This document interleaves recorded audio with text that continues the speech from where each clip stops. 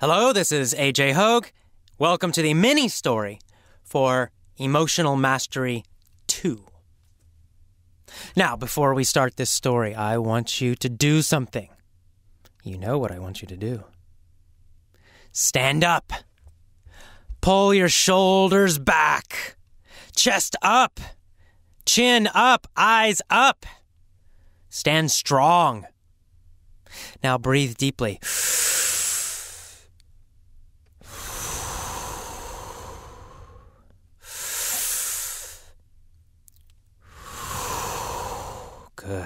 Now, big grin, a big, stupid, crazy smile on your face. Come on, you can do it. And finally, move your body. Walk. You can walk in one place without moving if you want. Just lift up your feet. If you're outside, then move. Move your body. Okay, you need to be awake. You need to be alive while you're learning. You ready? Let's start the mini story. Elvis the spider can't swim. But he wants to. What does Elvis want to do? Swim. Elvis wants to swim. What is Elvis? Well, of course, Elvis is a spider. How many legs does Elvis have? Eight, just checking. Okay, Elvis has eight legs. Because? Because he's a spider, of course. Elvis has eight legs because he's a spider. Elvis the spider has a problem. What is his problem? Well, his problem is he can't swim. Poor Elvis, he can't swim. He wants to swim. In fact, he wants to swim a very long way. Does he want to swim a short way or a long way?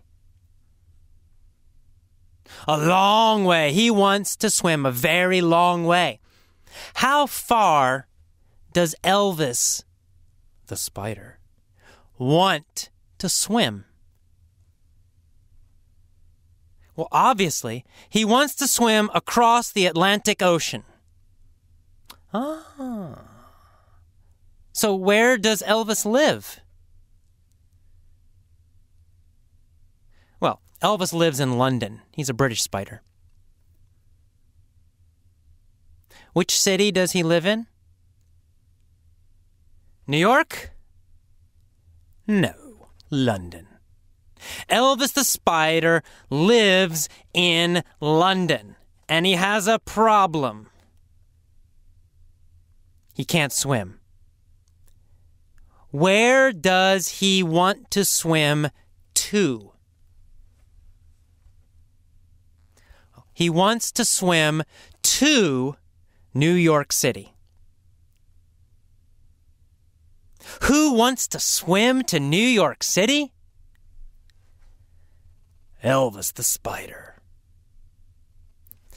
From where? Well, from London. He wants to swim to New York City from London.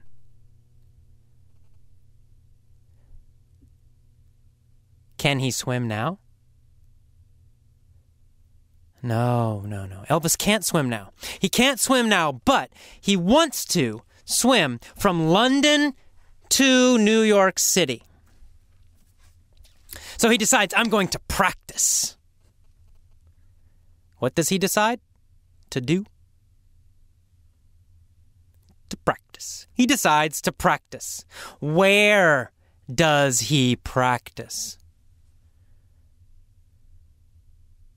In the North Sea. He practices in the North Sea. What does he practice in the North Sea? Swimming. He practices swimming in the North Sea. So Elvis the dog practices swimming in the North Sea. No, not the dog. Elvis the spider, of course. Elvis the spider practices swimming in the North Sea. He tries to swim, but he has another problem. It's very cold in the North Sea. Is it hot? Is it warm?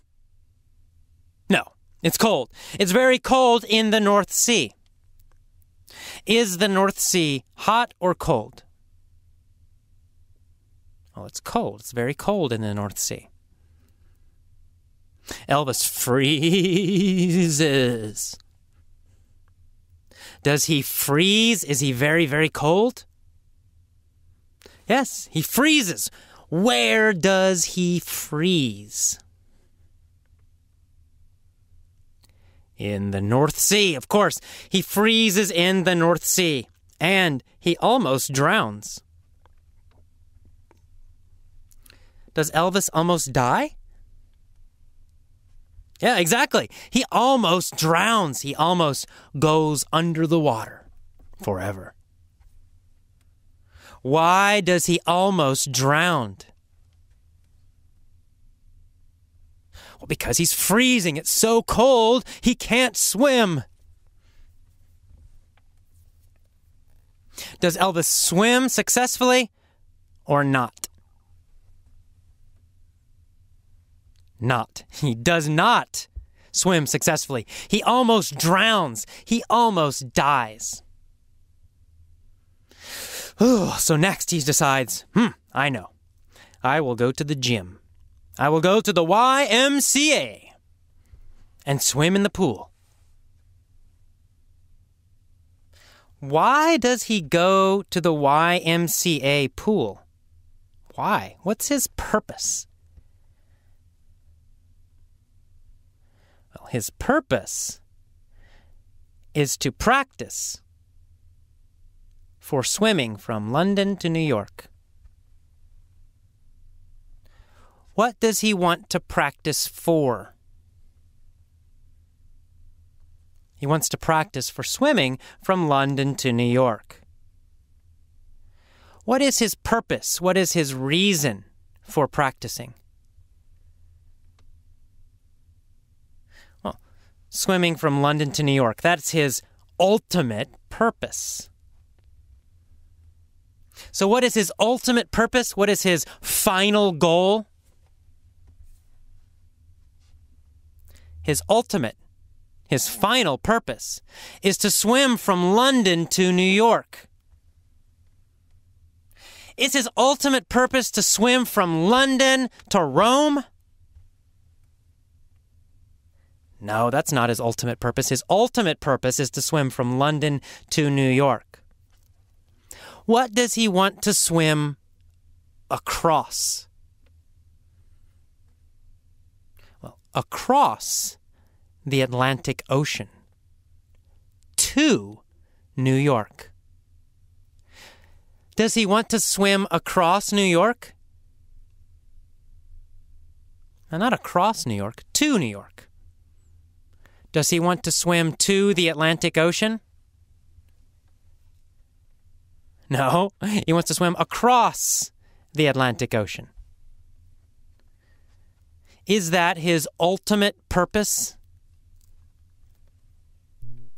Yes, it is. It's his final reason for practicing. His ultimate purpose is to swim from London to New York. Whose ultimate purpose is it? Elvis the Spider. It's Elvis's ultimate purpose. So every day he goes to the pool, and every day he visualizes arriving in New York. Every day, does he imagine himself arriving in New York? Yes, every day he visualizes, he imagines himself arriving in New York. Every day does he see himself in his mind arriving in New York successfully. Yes, absolutely. He visualizes. Every day he visualizes, he imagines, he sees. Every day he visualizes himself arriving in New York. All his eight legs swimming across the Atlantic, arriving in New York. What does he visualize? He visualizes arriving in New York City. How often does he visualize this? Well, every day. Every day he visualizes arriving in New York. He sees it clearly, vividly in his head. Does he visualize vividly? Yes, he does. He visualizes vividly. He visualizes powerfully, clearly, and colorfully. Vividly. How does he visualize? Vividly. He vividly sees himself arriving in New York City. Does he vividly imagine success? Oh, yes, very clearly, very powerfully, very colorfully. He sees success. He imagines success. He vividly visualizes arriving in New York. And he practices every day. Where does he practice swimming every day? At the YMCA. Every day he practices swimming at the YMCA pool. He swims with all his eight legs in the pool. Swimming every day, swimming and visualizing, swimming and visualizing, swimming and visualizing. He sees in his head arriving in New York and he swims in the pool, swims in the pool. Finally, the day comes. He jumps into the Atlantic and he starts swimming, swimming towards New York City. After 15 days, he's still swimming. Sharks try to attack him. He hits them with his legs and he escapes. Storms come, bad weather, rain. He continues to swim. Ultimately, ultimately, ultimately, and finally, he arrives in New York City. He is successful the mayor of New York City gives him the key to the city. They have a big parade for Elvis to celebrate his success. What does Elvis ultimately do? He ultimately is successful. He ultimately arrives in New York City. He ultimately swims from London to New York City. He finally swims from London to New York City. Who is ultimately successful? Elvis. Elvis the Spider is ultimately successful. He has problems. He has difficulties. But ultimately, but finally, he is successful. That is the end of the mini story for Emotional Mastery 2. Again, listen every day, one time, two times, three times, doesn't matter, as much as you can. When you listen, always have a strong posture. Breathe deeply, smile, and move as you listen. If you get tired, it's okay, it's normal. If you get bored, it's also normal. Just pause, change your posture, change your breathing, change your smile, move, and then start again. Okay, I will see you next time. Enjoy. Bye bye.